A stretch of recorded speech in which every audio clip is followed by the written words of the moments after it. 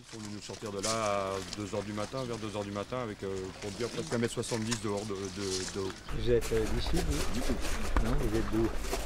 Bernay, encore des Bernay. Ah, d'accord, ok.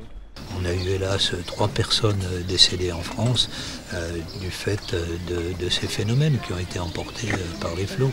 Donc c'est un épisode extrêmement dangereux. On n'en avait pas vu depuis des années et des années. On ne peut pas encore faire l'estimation parce que c'est pratiquement les deux tiers des départements français qui ont été touchés. Donc vous avez vu ce qui s'est passé à Morlaix, on a vu des images absolument stupéfiantes.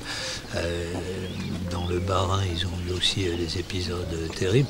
Et hélas, ce n'est pas encore euh, terminé euh, aujourd'hui. Euh, Nous avons accéléré euh, les procédures. Une première réunion aura lieu le 19 juin. Et donc, euh, nous allons en tenir autant qu'il faudra, de manière à pouvoir euh, répondre euh, aux attentes euh, des habitants.